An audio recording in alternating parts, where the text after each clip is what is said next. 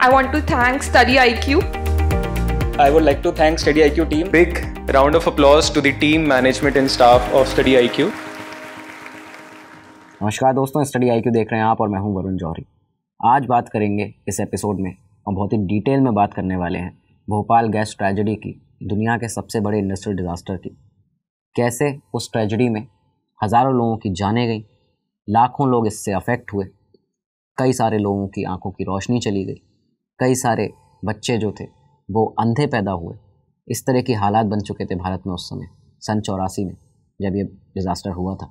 साथ में आपको ये सब बताने वाले हैं आज कि उस रात एग्जैक्टली क्या हुआ था, क्या सेफ्टी मेजर्स थे, जो कि यूनियन कार्बाइड जो फैक्ट्री थी भोपाल में, उन्होंने नहीं अपनाए थे, जिसकी वजह से ये डिज़ास्टर हुआ, जिसकी वजह से ट्रेजडी हुई। इसके अलावा, कैसे वहाँ पे आई अधिकारी जो थे भोपाल में, कई सारे जर्नलिस्ट थे, वो लगातार इस त्रासदी के पहले से सरकार को चेता रहे थे, लेकिन सरकार ने उनकी बात नहीं सुनी। इसके साथ ही आपको ये भी बताएँगे कि भोपाल जो रेलवे स्टेशन है, वहाँ पे रेलवे के जो कर्मचारी थे, जो इंडियन रेलवे का स्टाफ था, उन्होंने अपनी जान को गवा कर अपनी जान को जोखिम में डालकर कैसे हज़ारों लोगों की जान बचाई। आर्मी ने यहाँ पे, आर्मी के ऑफिसर्स ने कैसे रेस्क्यू ऑपरेशन चलाए? उन्होंने वो भी इस जहरीली गैस से, लेकिन बच नहीं पाए इसमें। ये सब कुछ आज आपको बताने वाले हैं। इसके साथ में आपको बताएँगे कि जब ये त्रासदी हो चुकी थी, उसके बाद भी जो एमआईसी जो वो लिक्विड था, जो केमिकल था, वो बचा हुआ था उन टैंक्स में। उन्हें न्यूट्रलाइज कैसे किया गया? उस जहरीली गैस को न्यूट्रलाइज कैसे किया गया, ये भी आपको बताएँगे। उसके लिए ऑपरेशन फेथ चलाया गया था। उसके बारे में जानकारी दी जाएगी। और सबसे बड़ा जो एक शॉकिंग इंसिडेंट हुआ था, कि जो मेन आरोपी था वॉरेन एंडरसन जो कि चेयरमैन था उस समय यूनियन कार्बाइड कॉरपोरेशन का, वो अरेस्ट होता है और छः घंटे के बाद ही वो भारत से भाग जाता है। ये कैसे हुआ था? किसने उसको मदद की थी? तो ये सब कुछ आज आपको इस एपिसोड में पता चलने वाला है। यूपीएससी के लिहाज से भी आपके जीएस पेपर थ्री के लिए बहुत ज़्यादा इंपॉर्टेंट है। डिज़ास्टर मैनेजमेंट को कवर करता है आपके। और यहाँ पे आपको जानना बेहद ज़्यादा ज़रूरी है क्योंकि ये एक तरह से इंडिया का तो सबसे बड़ा इंडस्ट्रियल डिज़ास्टर है ही। दुनिया के भी बड़े, सबसे बड़े इंडस्ट्रियल डिज़ास्टर्स में से एक है। तो शुरुआत करते हैं आज के एपिसोड की। साल 1917 1917 में एक अमेरिकन केमिकल कंपनी की शुरुआत होती है। यूनियन कार्बाइड कॉरपोरेशन यूसीसी और इसके 17 साल के बाद 1934 में 1934 में, ये कंपनी भारत में आने वाली यूएस कंपनियों में से एक पहली कंपनी थी। ये भारत में आई जब इसने Union Carbide India limited, UCIL की शुरुआत कर दी यहाँ पे, भारत के अंदर। देखते ही देखते यू, ये जो यूसीसी थी, ये दुनिया भर में फैल गई और ये दुनिया की तीसरी सबसे बड़ी केमिकल कंपनी बन जाती है। यूनियन कार्बाइड के ऊपर कई दफ़ा वर्कर्स की हेल्थ से रिलेटेड उनकी हेल्थ के रिस्क से रिलेटेड इन्वायरमेंट को दूषित करने से, पर्यावरण को दूषित करने से रिलेटेड कई सारे ऐसे आरोप लगते रहे। लेकिन दुनिया भर में इस कंपनी ने हमेशा इसको, ऐसे आरोपों को नकारा, शुरुआत से ही। और उसके बाद में कई बार ऐसी लीगल बैटल्स भी इस कंपनी की दुनिया भर में चलती रहीं। साल 1930 में यूनियन कार्बाइड कॉरपोरेशन की एक सब्सिडरी को रिस्पॉन्सिबल पाया गया था। दुनिया के one of the worst industrial disaster Gauley Bridge tunnel disaster में। ये जो डिज़ास्टर हुआ था, ये इस तरह से हुआ था कि एक टनल का कंस्ट्रक्शन करना था। एक उस कंस्ट्रक्शन को शुरू किया गया। टेस्ट में ये पाया गया कि ये जो रॉक है, वहाँ जो पत्थर है, वो प्योर सिलिका फॉर्म में है, वो प्योर सिलिका है। और यहाँ पे इस जगह कंस्ट्रक्शन करने से सिलिकोसिस हो सकता है, जो लंग डिसीज़ हो सकती है, एक बहुत ही सीवियर लंग डिसीज़ यहाँ पे जब ये चीज़ सामने आई तो जितने भी वर्कर्स थे, उन्होंने काम करने से शुरुआत में मना कर दिया। लेकिन कंपनी ने अपने ऑपरेशंस को रिवाइज़ करने के बजाय, अपने प्लान को रिवाइज़ करने के बजाय, यहाँ पे अपने जो वर्क फोर्स था, उसको एक्सटेंड कर दिया। यहाँ पे और लोगों को भर्ती किया जाता है, इस बार भर्ती किया गया था कुछ अफ्रीकन लोगों को। कई सारे ऐसे अफ्रीकन वर्कर्स को यहाँ पे कंपनी ने काम पर रखा और काम करना उन्होंने शुरू किया। अफ्रीकन वर्कर्स की भी काम की उस समय तलाश में बहुत ज़्यादा थे और वहाँ से वो लोग एक बताया जाता है कि कम्युनिटी में एक डिप्रेशन छाया हुआ था। काम क्योंकि नहीं मिल रहा था। तो वो लोग यहाँ पे जब काम करने के लिए आए कुछ ही महीनों में काम शुरू होने के, जब यूसीसी ने काम शुरू कराया, कई सारे वर्कर्स को सिलिकोसिस हो गया और इसी के साथ में उनके लंग्स जो थे वो ख़राब होने लगे और उनकी मौत होने लगी। बताते हैं करीबन चार सौ छिहत्तर वर्कर 476 वर्कर्स थे जिनकी मौत हुई और 1500 ऐसे थे जो कि चलने योग्य भी नहीं बचे, चलने लायक भी नहीं बचे। तो ये वर्स्ट इंडस्ट्रियल डिज़ास्टर था एक गॉली ब्रिज टनल डिज़ास्टर और उसमें यूसीसी का नाम आया था। इसके बाद साल उन्नीस में 1959 में। कंपनी ने अपने कुछ प्लान्स को ऑपरेट करना शुरू किया था पोर्टो रिको में पोर्टो रिको के यबूको में। यहाँ पे केमिकल्स जो थे, इनकी वजह से आइज़ में और लंग्स में डैमेज होने का खतरा था। साथ ही साथ में पर्यावरण जो था एनवायरमेंट था, उसको भी एटमोसफेयर को भारी नुकसान पहुँचा रहे थे। ये सब देखते हुए 1978 में पोर्टो रिको की गवर्नमेंट ने शो कॉज नोटिस जो था, वो इशू किया था यूसीसी के खिलाफ। यूसीसी को ये कहा था कि आप ये बताइए कि आपके ऊपर शो ये जो जुर्माना है वो क्यों ना लगाया जाए? क्योंकि आप लोग इतनी एयर पॉल्यूशन को यहाँ पे एयर जो है उसको, पॉल्यूशन को वायलेट कर रहे हैं उसके टर्म को। दस बार हेयरिंग हुई कोर्ट में, लेकिन यूसीसी की तरफ़ से कभी भी कोई सेटिस्फैक्ट्री आंसर नहीं दिया गया। और इसी के साथ यहाँ पे कंपनी के ऊपर बहुत भारी जुर्माना पोर्टोरिको गवर्नमेंट ने लगाया। लेकिन हैरानी की बात यहाँ पे ये थी कि कंपनी जुर्माना भरने के लिए तैयार हो गई। लेकिन अपने काम जो थे, जो उनके ऑपरेशंस थे, उनको उस प्लांट को रोका नहीं गया, उसको बंद नहीं किया गया। ऐसे कई सारे केस यूनियन कार्बाइड से रिलेटेड पूरी दुनिया भर में सामने आते हैं। लेकिन कभी भी कंपनी ने अपने काम जो थे अपने ऑपरेशन थे, उनके बंद नहीं किया, उनको जारी रखा। और अब मुश्किल ये थी कि ये कंपनी जो थी, अब ये भारत आने वाली थी और ये भारत में आके अपना एक प्लांट सेटअप करने वाली थी। दोस्तों, इस एपिसोड में आगे बढ़ने से पहले आपको बता दें for the U P S C aspirants अगर आप लोग जो वीडियो देख रहे हैं, आप U P S C C S C की तैयारी करना चाहते हैं सिविल सर्विसेज़ की तैयारी कर रहे हैं या करना चाहते हैं आप लोगों को यहाँ पे एक बहुत बड़ा डिस्काउंट मिलने वाला है स्टडी आईक्यू के कोर्सेज़ पे पी टू आई बैच पर, जो सत्तर हज़ार का कोर्स है, वो आपको बाईस हज़ार नौ सौ निन्यानवे में यहाँ पे मिलने वाला है। सिर्फ़ एक कोड लगा के बीजे लाइव इस कोड को आप लगाएँगे, आपको सारी डिटेल्स कोर्सेज़ की मिल जाएँगी इस वीडियो के डिस्क्रिप्शन में। यहाँ पे जो कोर्सेज़ हैं हमारे पास, जो पी टू आई बैच है, इसमें आपको लाइव क्लासेज रिकॉर्डेड क्लासेज मिल जाती हैं। टेस्ट मिल जाते हैं कई सारे। स्टडी मटेरियल मिल जाता है quality study material affordable rates में। साथ ही साथ में यहाँ पे आपको ज्ञानवानी सेशंस मिल जाते हैं बड़े बड़े ब्यूरोक्रेट्स के साथ में आपके सेशन कराए जाते हैं। आपको करंट अफेयर्स प्रोग्राम भी मिल जाता है यहाँ पे और ये सब कुछ आपको बहुत ही अच्छे प्राइस में, एक अफोर्डेबल प्राइस में स्टडी आई क्यू यहाँ पे दे रहा है इस दिवाली सेल पर। तो बिल्कुल भी देर मत करिए, अपने डिस्क्रिप्शन में जाके सारी कोर्स की डिटेल्स देखिए। वीजे लाइव आपको कोड लगाना है जो आपको आपकी स्क्रीन पर दिख रहा है और यहाँ पे आपको मिलेगा बहुत ही भारी डिस्काउंट और अपनी इस तैयारी को बहुत ज़्यादा मज़बूत बनाएँगे। हमारी शुभकामनाएँ आपके साथ हैं और हैप्पी दिवाली। तो आगे बढ़ते हैं अपने एपिसोड में। साल 1969 में यूनियन कार्बाइड कॉरपोरेशन ने भारत में, भारत के दिल मध्य प्रदेश के भोपाल में, राजधानी भोपाल के अंदर अपना एक प्लांट सेटअप किया। यहाँ पे कंपनी का कहना था कि ये जो भोपाल का प्लांट है, ये उनके अमेरिका के वेस्ट वर्जीनिया में जो इंस्टीट्यूट प्लांट है सेम उसका रेप्लिका है सेम हुबहू उसकी छोटी कॉपी है। और यहाँ पे बहुत ही क्वालिटी को ध्यान में रखते हुए इसको बनाया है। लेकिन यहाँ कंपनी ने यूसीसी ने भोपाल वाले प्लांट में सेफ्टी मेजर्स के साथ एक तरह से खिलवाड़ किया था। अमेरिका के प्लांट में जो सेफ्टी मेजर्स थे, उस तरह के यहाँ पे बिल्कुल भी यूज़ नहीं किए गए थे। अमेरिका वाले प्लांट में computerized pressure and temperature sensing system था, जिसको कई सालों तक यूज़ किया गया और जिसके चलते कई बार ऐसी बड़ी बड़ी जो इंसिडेंट ऐसे एक्सीडेंट हो सकते थे, जो घातक घटनाएँ हो सकती थी, उनसे वहाँ पे उसको बचा के रखा। ये इस चीज़ को यहाँ पे यूज़ नहीं किया गया था। साथ में भोपाल के प्लांट में जो आसपास की आबादी, एक बड़ी आबादी रहती थी लोगों की, इस प्लांट के आसपास, उन्हें डेंजर अलार्म के बारे में जो सायरन होता है, अगर कभी कोई आपदा आ जाती है, कोई लीक होती है गैस तो उसके बाद जो सायरन बचता है, उसके बारे में नॉलेज ही नहीं दी गई थी। उसके बारे में पूरी जानकारी कभी दी ही नहीं गई थी। और ना ही ये बताया गया था कभी भी लोगों को जो आसपास इतनी बड़ी आबादी रह रही थी, कि इस फैक्ट्री के अंदर जो केमिकल्स हैं, जो गैसेज हैं, वो कितनी ज़्यादा आपके लिए ख़तरनाक साबित हो सकती हैं। अमेरिका वाला जो प्लांट था उसमें सत्तर सत्रह सालों तक सेवेंटीन ईयर्स तक एमआईसी का मिथाइल आइसोसाइनेट एक बहुत ही ख़तरनाक केमिकल उसका प्रोडक्शन हुआ। लेकिन उन सत्रह सालों में एक भी बार एक भी आदमी की यहाँ पे मौत नहीं हुई थी। कभी भी ऐसा कोई बड़ा इंसिडेंट नहीं हुआ था। सिवाय एक बार के 1978 में एक इंसिडेंट हुआ था जब एमआईसी जो थी वो लीक हुई थी, एक लाइन के टूटने से, और इसके बाद सिर्फ़ एक आदमी था जिसको दो दिन के लिए हॉस्पिटलाइज़ किया गया था हॉस्पिटल में रखना पड़ा था। और करीबन तेरह ऐसे लोग थे जो थोड़ी देर उनकी जो हालत थी वो बिगड़ी थी, लेकिन बाद में वो नॉर्मल हो गए थे।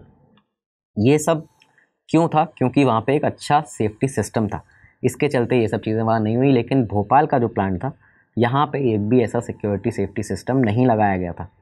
साथ में अमेरिका का जो प्लांट था, इसमें लीक होने की घटना के, ये जो अगले ही साल 1979 में, भोपाल के जो प्लांट में एमआईसी का प्रोडक्शन जो था, वो कंपनी ने चालू कर दिया। कंपनी ने क्या किया कि 1969 में जब ये प्लांट बना था, उस टाइम पे एक इंसेक्टिसाइड था सेवन, जिसका नाम था सेवन।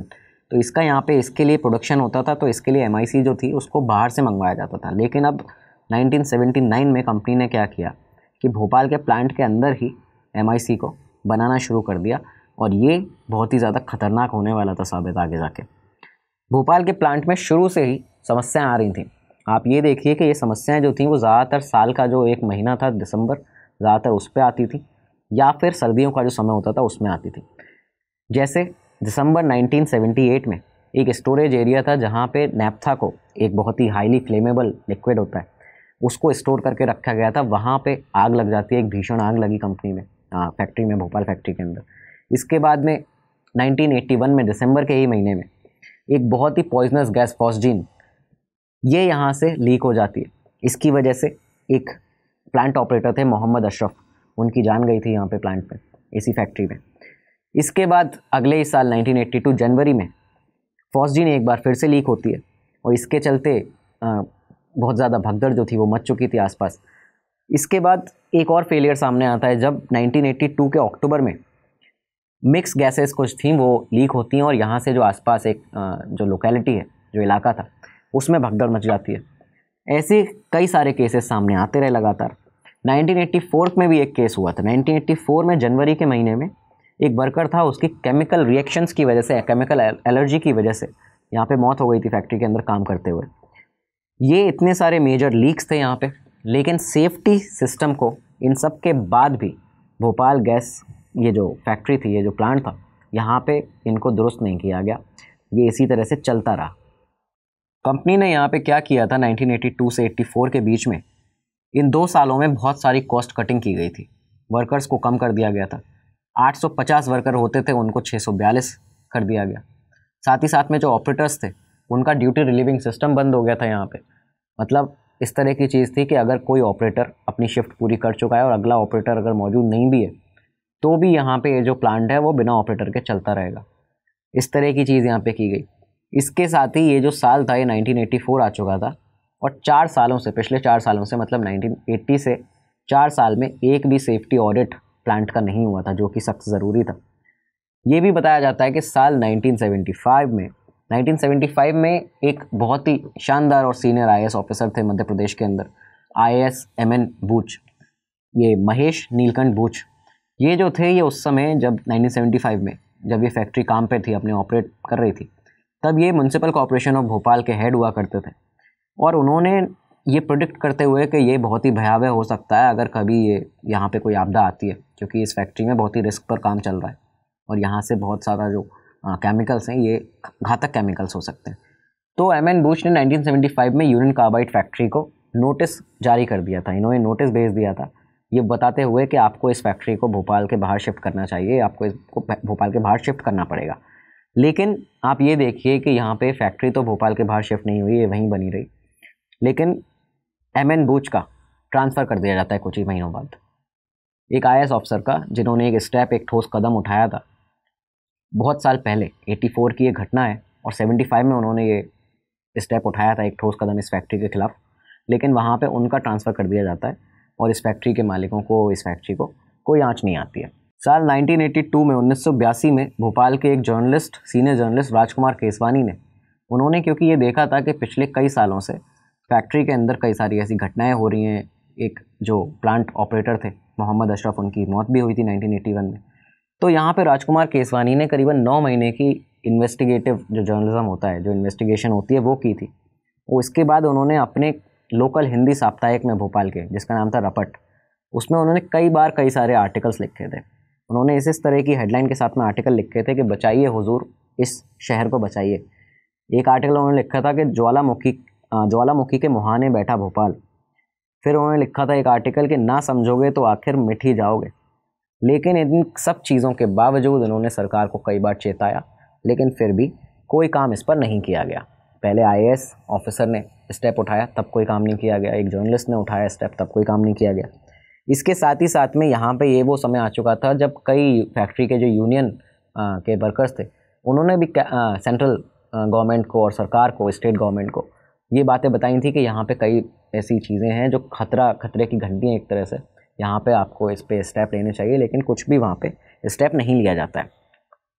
विडम्बना आप ये देखिए, इस तरह की विडम्बना थी कि 1984 में ही, इसी साल में जब ये पूरी घटना, जो भोपाल गैस ट्रेजडी हुई है एक महीने पहले ही नवंबर के महीने में 1984 में, इस फैक्ट्री को स्टेट पॉल्यूशन कंट्रोल बोर्ड की तरफ़ से एनवायरमेंटल क्लियरेंस सर्टिफिकेट मिल जाता है। इन्वायरमेंटल क्लियरेंस सर्टिफिकेट इस फैक्ट्री को दिया गया और ये भी सामने आता है कि ये जो फैक्ट्री थी, यहाँ पे इसके ऑपरेशंस को बंद कर दिया गया था, जो फैक्ट्री के एम्प्लॉयज़ ने भी बाद में बताया। लेकिन इसके बावजूद यहाँ पे एम का जो प्रोडक्शन था, वो लगातार प्लांट में होता रहा। वो प्लांट में प्रोडक्शन जो था, वो चल रहा था। और इस पर किसी ने कोई कार्रवाई नहीं की।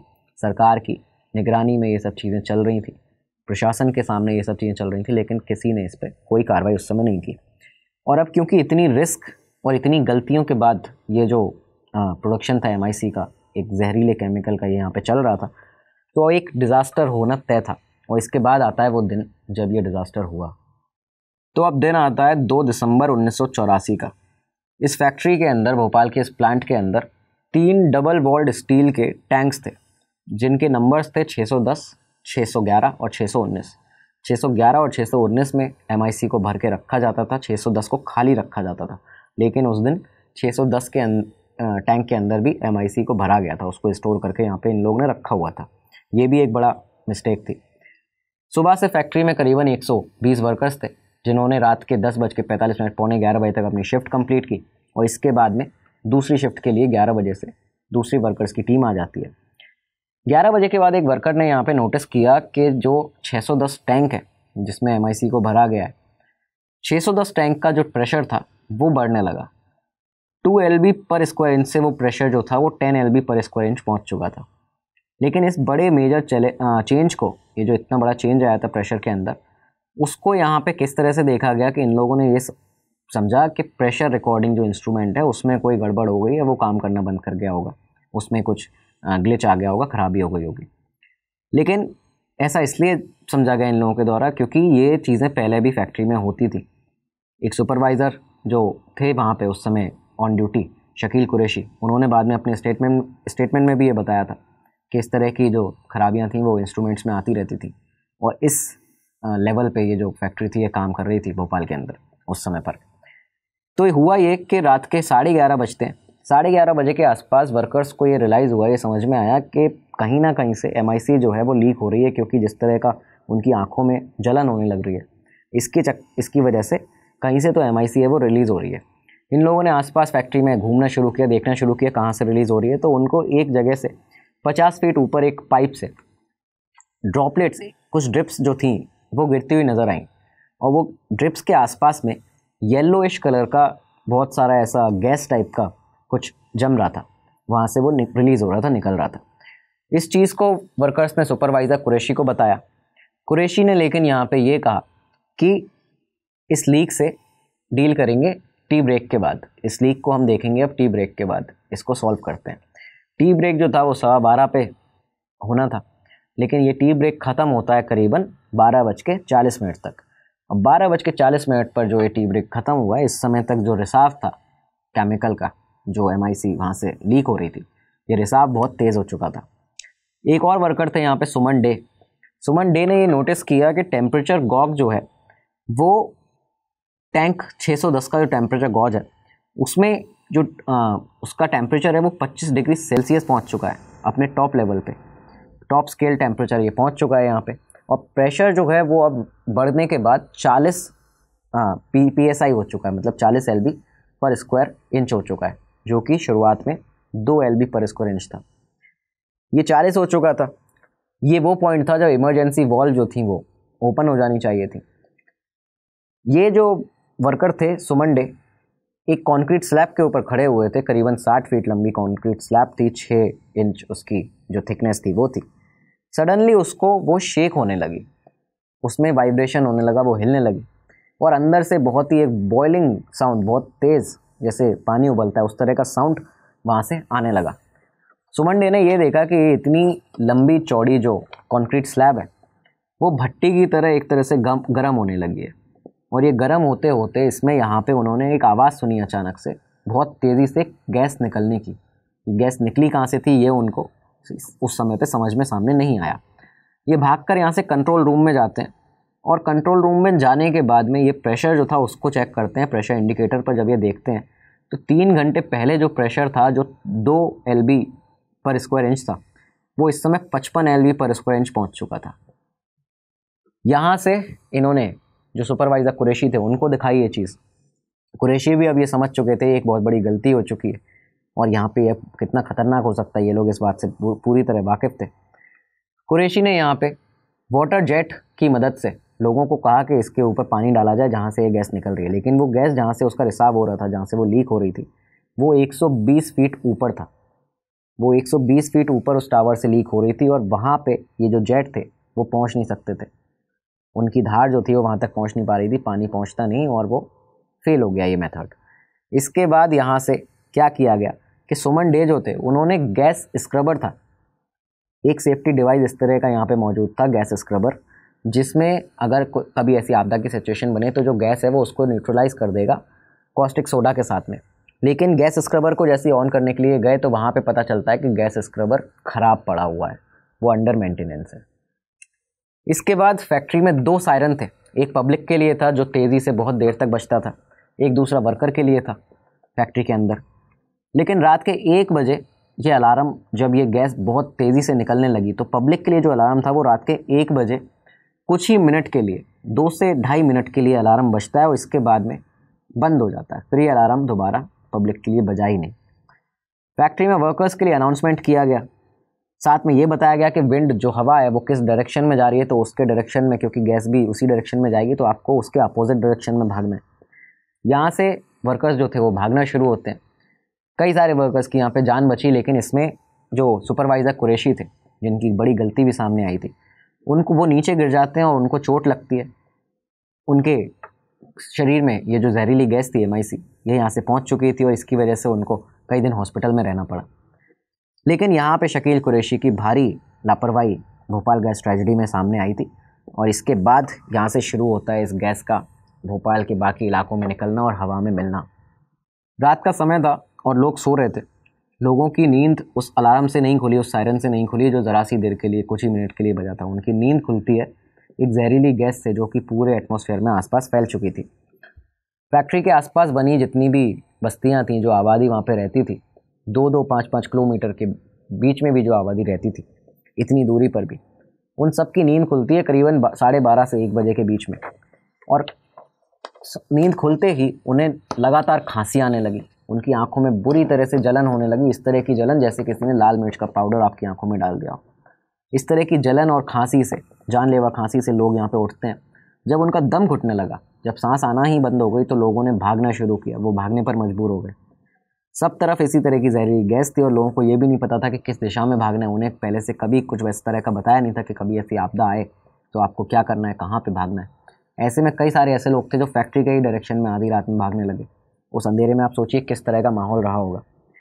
फैक्ट्री के डायरेक्शन में लोगों का भागना शुरू हो गया और इसके जो परिणाम हुए, वो ये हुए कि लोगों को उल्टियाँ होती थी और लोग अपना दम तोड़ देते थे। लोगों का, की मौतें शुरू हुई। यहाँ से जो लोग थे, जिन्होंने अपना आँखों देखा हाल बताया है इस इंसिडेंट के बाद में, भोपाल गैस ट्रेजरी के बाद में, वो बताते हैं कि कई ऐसे लोग थे जो अपने छोटे छोटे बच्चों को छोड़कर भागने पर मजबूर हो चुके थे। उनके बच्चों को वो सड़क पर छोड़ते थे और ख़ुद भागते थे यहाँ से वहाँ।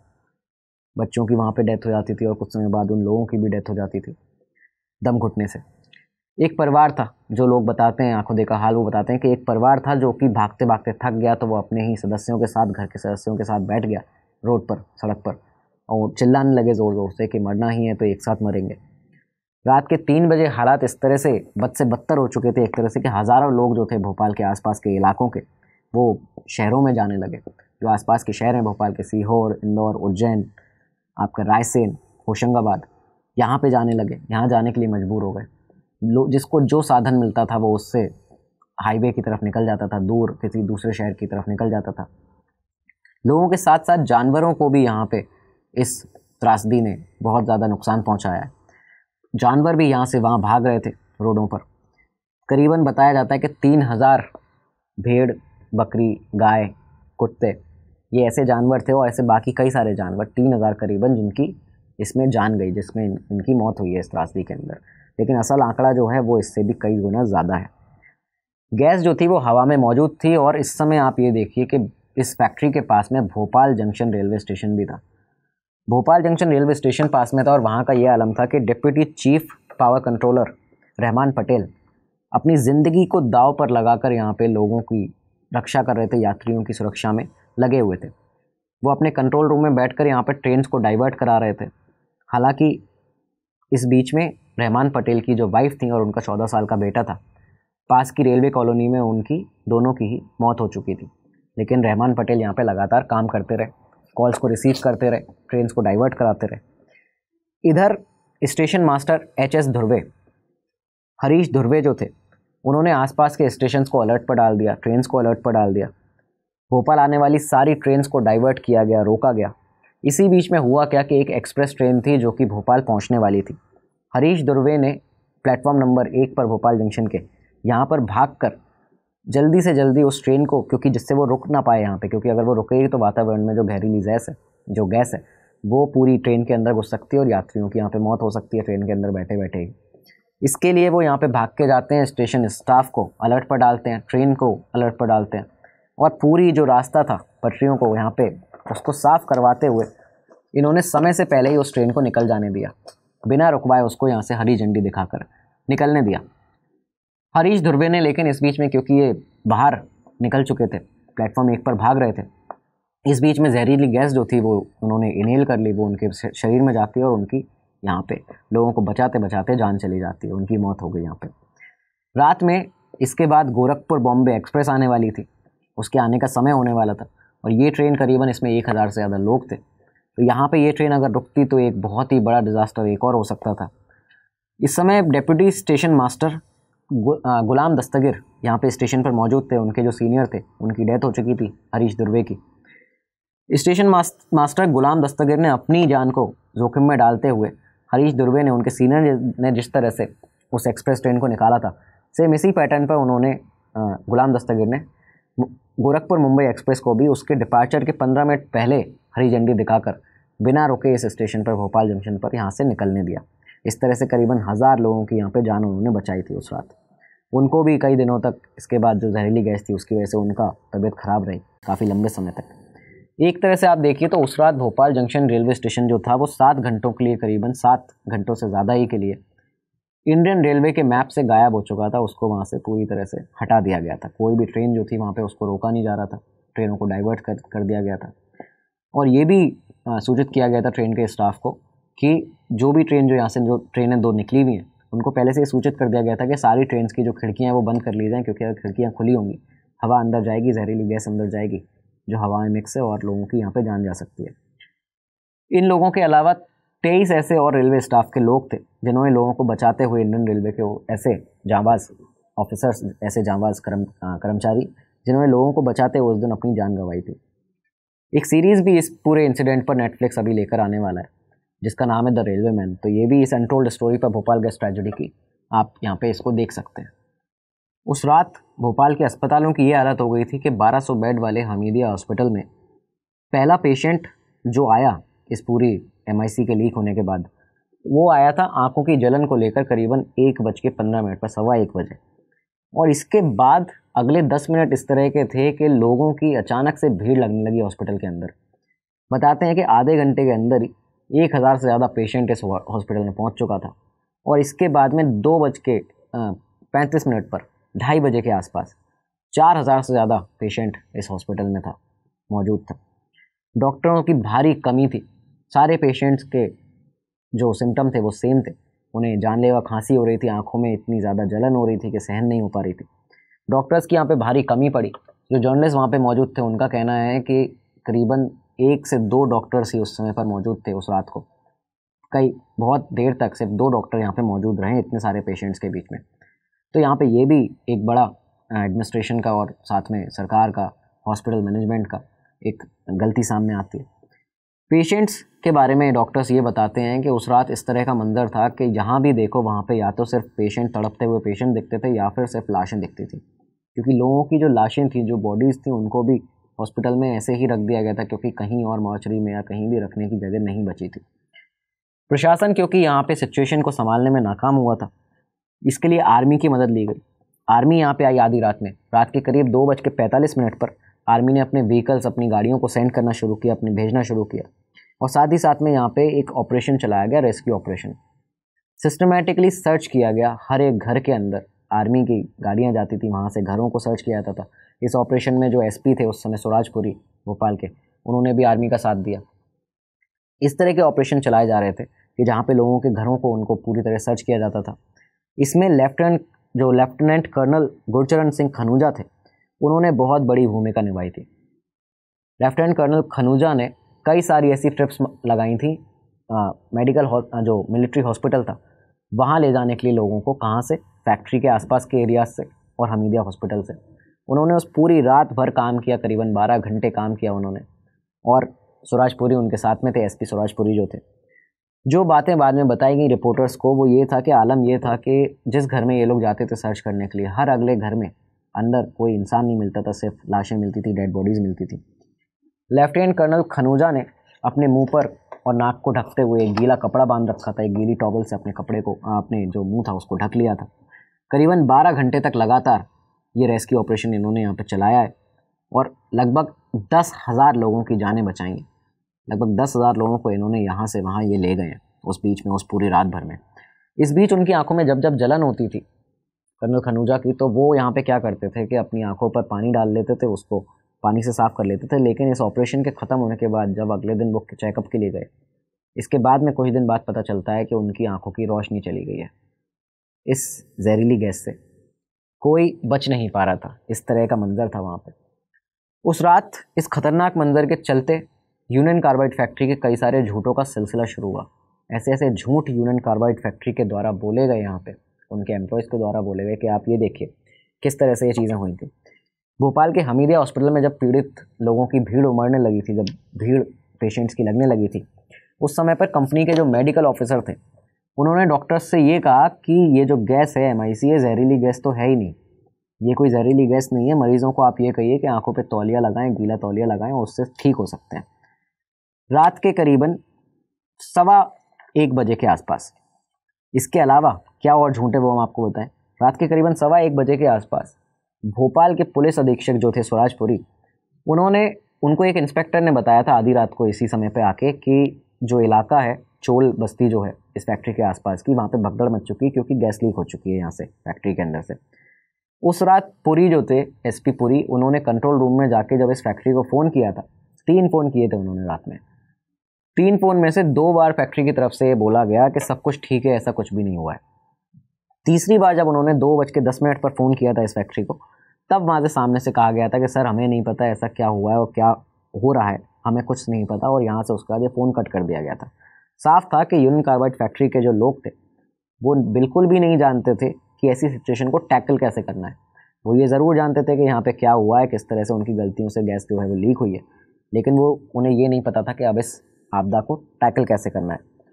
रात के करीबन पौने दो बजे एक बज के पैंतालीस मिनट के आसपास जो गैस लीक थी, उसके पैंतालीस मिनट के बाद में भोपाल के जो एडिशनल डीएम थे डिस्ट्रिक्ट मजिस्ट्रेट थे, उन्होंने फैक्ट्री के जो वर्क मैनेजर थे जे मुकुंद, उनसे कांटेक्ट किया। और आप ये देखिए कि उस समय तक मुकुंद को ये पता भी नहीं था कि फैक्ट्री में से इतना बड़ा फेलियर हो गया, इतनी बड़ी भारी मात्रा में गैस यहाँ से लीक हो रही है। जब उनसे कहा गया कि आपकी फैक्ट्री में से गैस लीक हो रही है, इस तरह का इंसिडेंट एक्सीडेंट जो है वो यहाँ पे हो रहा है मुकुंद का कहना था कि गैस लीक हमारे प्लांट से हो ही नहीं सकती, वो तो प्लांट बंद है। हमारी टेक्नोलॉजी गलत नहीं हो सकती। और उस रात यूनियन कार्बाइड की तरफ़ से गैस लीक होने के बाद भी सिटी एडमिनिस्ट्रेशन को कोई खबर नहीं दी गई। रात के करीबन साढ़े तीन बजे, ये जो आर थे, ये जो तीन बजे से चार बजे तक का समय था, ये सबसे ज़्यादा वर्स्ट टाइम रहा है इस पूरी गैस ट्रेजिडी का, भोपाल गैस ट्रेजिडी का। रात के करीबन साढ़े तीन बजे हज़ारों लोग जो थे, वो दम घुटने से उन, अपनी जान गंवा चुके थे। इस त्रासदी के पहले उस रात को जो टैंक था, जिसमें से ये गैस पूरी लीक हुई थी, टैंक नंबर 610 उस टैंक में इस त्रासदी के पहले नब्बे हज़ार पाउंड एम स्टोर थी। और जब इस रिसाव को, इस लीकेज को बंद किया गया है, अगले दिन, इस दिन की सुबह तक, दो से तीन दिसंबर की रात के बीच में, जब रिसाव को बंद किया है तो उस समय पे चालीस हज़ार पाउंड एमआईसी बची थी। मतलब पचास हज़ार पाउंड एमआईसी जो थी, वो भोपाल की उस हवा को जहरीला बनाने के लिए उसमें घुल गई थी। पूरी तरह से उसमें मिक्स हो चुकी थी, बाकी कई सारी जहरीली गैसेस के साथ में। और इसका नतीजा क्या होने वाला था? ये अगले दिन सुबह पता चलता है। तीन दिसंबर उन्नीस सौ चौरासी की सुबह सरकार ने अपना आंकड़ा बताया। सरकार ने बताया कि बीती रात 400 लोग इस ट्रेजडी में उनकी डेथ हुई है। लेकिन अनऑफिशियल जो सोर्सेस थे, उनका कहना था 500 लोग हैं। इसके बाद अगले दिन सेकेंड डे पर ये जो गैप था अनऑफिशियल रिकॉर्ड्स और सरकार के ऑफिशियल रिकॉर्ड्स के अंदर, ये और बढ़ा। सरकार ने बताया कि ये जो फिगर है वो बढ़ के 550 लोगों की डेथ तक हो गया। है 550 लोग इससे मारे गए हैं। अनऑफिशियल फिगर यहाँ पे पहुँचा सीधा 1200 तक। तीसरा दिन आता है। थर्ड डे पे 400 डेथ जो थी, वो थर्ड डे पे हुई थी। हॉस्पिटल के अंदर 400 और मौतें हुई थी। तो इसको देखते हुए जो अनऑफिशियल फिगर था, वो 1600 तक पहुँच गया। लेकिन यहाँ पे सरकार ने अपना जो फिगर था वो 620 बताया कि 620 लोगों की मौत हुई है, जबकि अनऑफिशियल बताया गया 1600 और चौथा दिन अब आता है, चौथे दिन पे सरकार का जो फिगर था वो अचानक से बढ़ गया। अनऑफिशियल फिगर जो था वो इस समय 1700 बताया गया और सरकार ने अपना फिगर डबल करते हुए लोगों की मौतों का आंकड़ा जो था वो बता दिया कि तेरह लोग हैं, एक हज़ार तीन सौ सत्ताईस जिनकी यहाँ पे मौत हुई है। अचानक से ये फिगर सरकार की तरफ़ से बढ़ाया गया था। क्योंकि कई ऐसे गाँव थे, कई ऐसी आसपास की जगह थी, जहाँ से बाद में, कई दिनों के बाद में पता चलता रहा कि वहाँ पे इतनी मौतें हुई हैं, यहाँ पे इतने लोग मारे गए हैं इस गैस ट्रेजिडी से। Indian Council of Medical Research, ICMR, ने यहाँ पे अपना क्लेम किया था, जो डेथ टोल का उन्होंने क्लेम किया था, वो ये बताया था कि सबसे ज़्यादा लोगों की जो मौतें हुई हैं, वो 48 घंटे से बहत्तर घंटे के बीच हुई हैं मतलब इस ट्रेजेडी के एक दिन बाद, करीबन दो दिन के बाद में, जो दो से तीन दिन का जो समय था। 48 से बहत्तर घंटे के बीच में जो सबसे ज़्यादा मौतें हैं, वो हुई हैं। करीबन 1200 लोगों की इस टाइम पे डेथ हुई है और हॉस्पिटल के अंदर 1200 लोगों की डेथ हुई है। मेंबर ऑफ़ जो मेंबर थे जहरीली गैस कांड संघर्ष मोर्चा के। तो ये जो समिति थी, ये जो मोर्चा था, इसके जो मेंबर्स थे, उन्होंने क्लेम ये किया कि आर्मी के कई सारे ट्रक्स थे, जो कि लगातार सौ सौ सैकड़ों ऐसी लाशें थी, जिनको भर के ले जाते थे उनके अंतिम संस्कार के लिए। और इन्होंने ये जो नंबर बताया था, इन्होंने क्लेम किया था करीबन पाँच हज़ार लोगों की यहाँ पे डेथ हुई है। कोई भी रिकॉर्ड यहाँ पे साफ़ नहीं था कि किस, कितने लोगों की असल में जान गई है। वहीं पे एक यूनिसेफ ऑफिशियल जो कि यूनिसेफ की तरफ़ से जो लोग गए थे, भोपाल, इस पूरी इन्वेस्टिगेशन के लिए कितना डेथ टोल पहुँचा है। जब वो लोग दिल्ली वापस आए हैं, करीबन एक हफ़्ते रुक के भोपाल के अंदर, अपनी छानबीन पूरी करके। उनकी कॉन्फिडेंशियल रिपोर्ट में से उन्होंने ये बताया था कि जो पूरा दिसंबर का जो आंकड़ा है, मौतों का वो करीबन ये डेथ टोल जो है वो दस हज़ार लोगों तक का दस हज़ार लोगों की यहाँ पे डेथ हुई है। और कई सारे ऐसे गवर्नमेंट ऑफिशियल्स थे डॉक्टर्स थे, जिन्होंने प्राइवेटली ऑफ़ द रिकॉर्ड इस बात को माना भी था कि इस तरह की यहाँ पे चीज़ें हुई हैं कि दस हज़ार, पंद्रह हज़ार करीबन लोगों की यहाँ पे इसके बीच में मौतें हुई हैं। भोपाल गैस ट्रेजडी में कितनी जाने गई, ये आज तक किसी को पता नहीं है। लेकिन आंकड़ा जो था, वो असल आंकड़ा बहुत ज़्यादा था। अगले दिन की सुबह इतनी डेड बॉडीज़ थी कि आप ये देखिए कि कब्रिस्तानों की और शमशान घाटों की हालत क्या थी। हिंदुओं के शमशान घाटों में सुबह नौ बजे से अंतिम संस्कार की जो पूरा प्रोसेस होता है, वो शुरू हुआ। पहली बार में पंद्रह चिताएँ जलाई गई, लेकिन इसके बाद में डेड बॉडीज़ क्योंकि लगातार आती जा रही थी, जो लाशें थी, आती जा रही थी तो लकड़ियाँ कम पड़ने लगीं। ट्रकों को भेजा गया, ट्रकों में लकड़ियाँ भर भर के आती थी, और इसके बाद में एक एक चिता पर पाँच से दस डेड बॉडीज़ को रख के जहाँ पे जलाया जा रहा था। इस तरह का वो मंज़र था। वहीं पे दूसरी तरफ़ मुस्लिम कब्रिस्तानों में क्या हाल था? मुस्लिम कब्रिस्तानों में बॉडीज़ को जो दफनाया जा रहा था, वहाँ पे ज़मीन कम पड़ने लगी थी। एक एक कब्र में दस से ग्यारह लोगों को दफनाया जाता था। इसके बावजूद जब ज़मीन कम पड़ने लगी तो क्या किया गया था कि पुरानी जो कब्रें थी, उनको खोदा गया। और उन कब्रों में से जो बोन्स थी, जो स्केल्टन्स थे, उनको हटा के, जो सौ साल पुरानी जो हड्डियाँ थी उनको हटा के। वहाँ पे जगह बनाई गई। उनको हड्डियों को भी रखा गया, साथ ही साथ में और डेड बॉडीज़ को वहाँ पे रखा गया। और इस प्रोसेस के लिए भोपाल में मुस्लिम समुदाय के बीच में, मुस्लिम समुदाय के अंदर फतवा जारी करना पड़ा था। ये परमिशन ये इजाज़त लेने के लिए कि ये इजाज़त दी जाए कि पुरानी कब्रों को खोदा जाए। इस कदर का मंज़र था उस तबाही ने, वो जो रात को तबाही हुई थी, उसने ये तस्वीर बना दी थी पूरे भोपाल के अंदर। भोपाल गैस ट्रेजिडी जो है, वो यूनियन कार्बाइड कंपनी का एक बहुत बड़ा सेफ्टी फेलियर था। प्लांट के अंदर दो सेफ्टी डिवाइसेस थे। पहला था वेंट स्क्रबर, जिसमें क्या होता था कि जो गैस है, अगर वो कभी ऐसे लीक होती है तो वो वेंट स्क्रबर के अंदर जाएगी और वहाँ पे जाके कास्टिक सोडा के साथ में उसका जो रिएक्शन करा के उसको न्यूट्रलाइज़ किया जाएगा। दूसरा था कि अगर ये जो स्क्रबर है, वेंट स्क्रबर है, अगर ये नाकाम रहता है प्रोसेस तो इसके बाद एक फ्लेयर टावर था। जहाँ पे गैस को जमा करके वहाँ पे उसको जला दिया जाता था उसको बर्न आउट कर दिया जाता था। यहाँ पे क्या हुआ था? उस रात को दोनों ही डिवाइसेस काम नहीं किए। पहला तो आपको पता ही है कि जो वेंट स्क्रबर था वो ख़राब पड़ा हुआ था अंडर मेंटेनेंस था सही होने के लिए उसको काम उसका जारी था।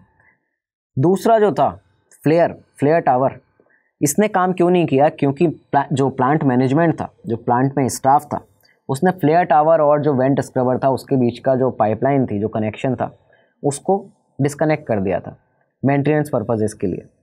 और यहाँ तक कि फ्लेयर टावर की जो फ्लेम्स थी, जो बर्नआउट करने के लिए गैस को काम आती थी, उन फ्लेम्स को भी बंद कर दिया गया था। ये एक बहुत बड़ा एक तरह से मैनेजमेंट फेलियर था पूरे फैक्ट्री का। एक और बड़ी गलती यहाँ पे सामने आई। करीबन ऐसी ना जाने कितनी गलतियाँ इस प्लांट में इन लोगों ने की हैं। एक और बड़ी गलती ये थी कि जो तीन टैंक्स थे, साठ टन कैपेसिटी के टैंक्स थे, तीन उसमें से दो में एमआईसी को भरा जाना होता था एक स्पेसिफिक पॉइंट तक। लेकिन जब, जिस दिन ये हादसा हुआ है, दो दिसंबर उन्नीस सौ चौरासी, उस दिन तीनों टैंक में एमआईसी थी और ये जो जिस टैंक से एमआईसी रिलीज़ हुई है, जिससे लीक हुई है, वो टैंक नंबर 610 उसमें उसको खाली रखा जाना चाहिए था। एडवाइज़री ये थी, लेकिन उस टैंक में भी ये लोग एमआईसी को यहाँ पे स्टोर कर रहे थे। तो ये एक बहुत बड़ा यहाँ पे इनकी तरफ़ से गलती थी। एमपी के उस समय, मध्य प्रदेश के उस समय सीएम थे अर्जुन सिंह। सरकार ने डिसाइड किया आनंद फानन में कि जो परिवार हैं, क्योंकि ये आपदा जब हुई थी, इसके बाद लोगों में बुरी तरह से हड़कम मच गया था।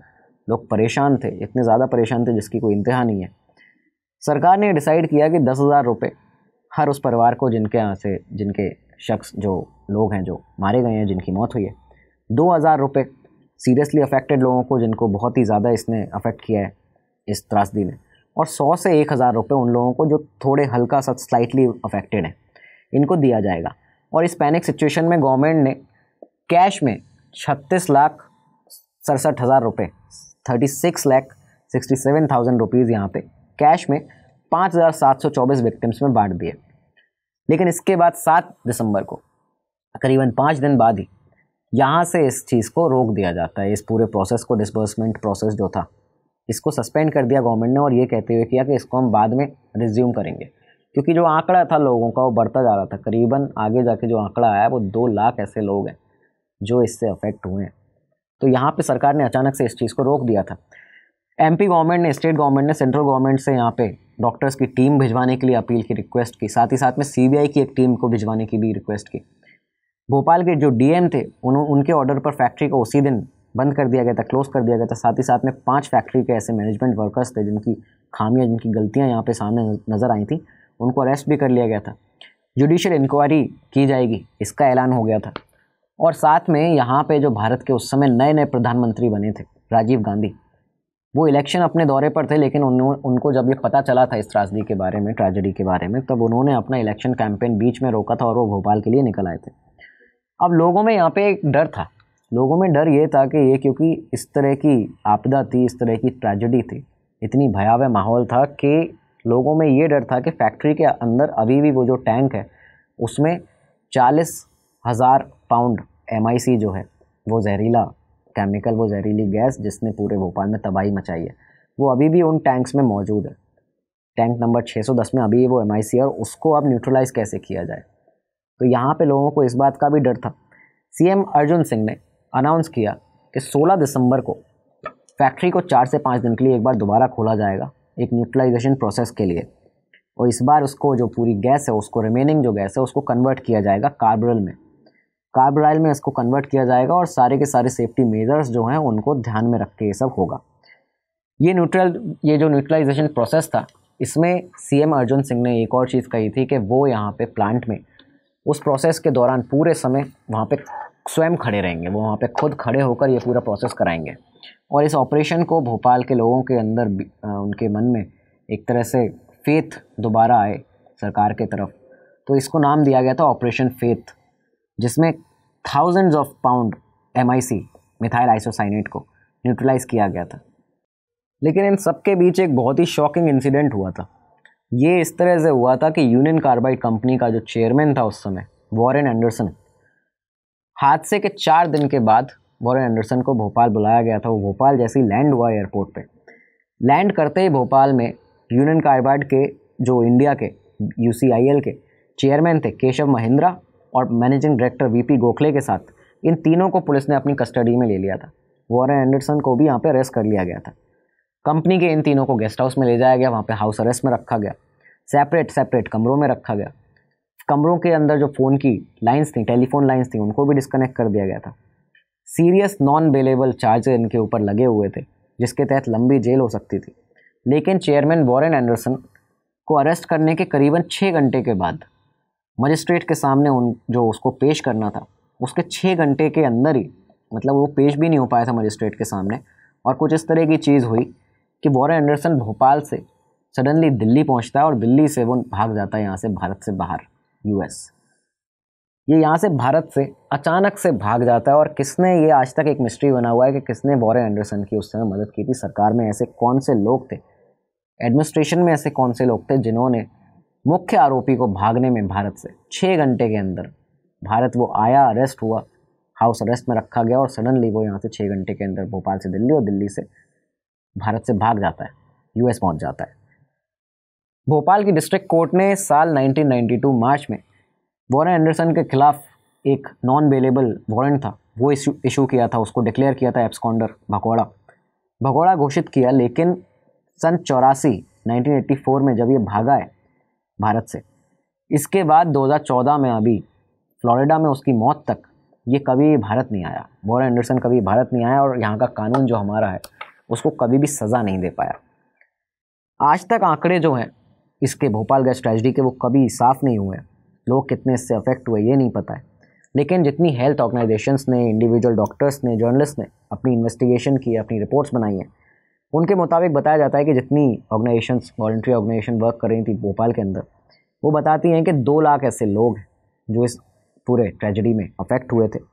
और पचास हज़ार ऐसे हैं जो सीरियसली अफेक्ट हुए थे जो जिनके जो चलने लायक नहीं बचे देखने लायक नहीं बचे इस तरह के लोग। और जिनकी जाने गई थी उनका भी आंकड़ा करीबन पाँच हज़ार बताया जाता है पाँच हज़ार से छः हज़ार के बीच में।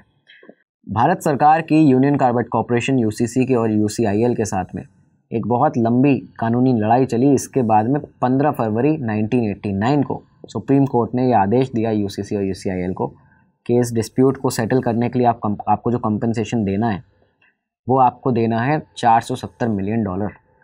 और इसके साथ ही यहाँ पे यूनियन ऑफ़ इंडिया को आपको ये देना है। यूनियन ऑफ़ इंडिया ने भारत सरकार ने जो अपने आंकड़े बताए थे, उन्होंने ये कंपनसेशन मांगा था एक लाख दो हज़ार इंजर्ड लोगों के लिए जो अफेक्ट हुए और तीन हज़ार डेथ का जो उन्होंने आंकड़ा बताया था।